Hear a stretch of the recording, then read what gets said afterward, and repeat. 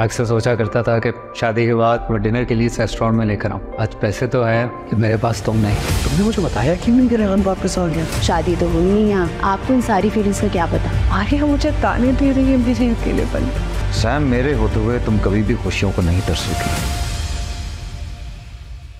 मैं तुमसे शादी करने के लिए तैयार हो जाए तेरा वादा। देखिए हर पीर से हफ़्ता रात नौ बजे सिर्फ़ ए आर वाई डिजिटल पर।